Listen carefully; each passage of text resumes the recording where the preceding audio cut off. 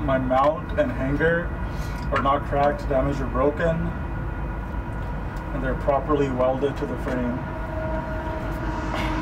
That my torque rod is not cracked, damaged, or broken. There's no nut bolts missing.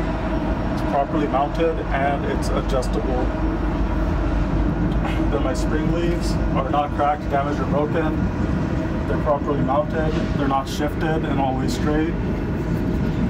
My U clamps and U bolts are not cracked, damaged, or broken. There's no bolts missing. They're properly mounted to the axle.